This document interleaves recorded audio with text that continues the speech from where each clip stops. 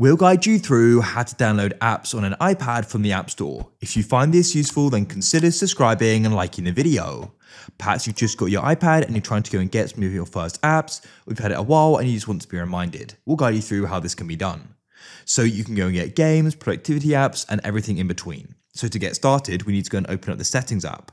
Go to the top left. If you go and see the option to sign in here, you need to sign into an Apple account. If you haven't got one, you can also create one there as well. If you're already there, then you can go and tap on it. You want to go down. If you see the option for setup to the right of media and purchases, tap there. We can then go and press continue and I can use the App Store with this Apple ID account. As you can see, we're signing in and that's complete. Then what you can do is go and open up the App Store like so. And what you can do is start browsing the different apps here. If there's a specific one you want, you can go and search.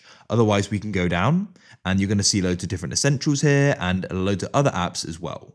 Let's say I wanted to get the Oxford Dictionary, I could then go and press get to the right of it, and we'll need to then go and press install like so, and I'll need to enter in my Apple ID password. After entering it, I'll get this pop up here, and we can then wait for it to go and download. You'll see the progress there. When it's finished, it'll go and say open. You can then open it and you can go and start using it. That's it, and it'll also going to appear on your apps as well.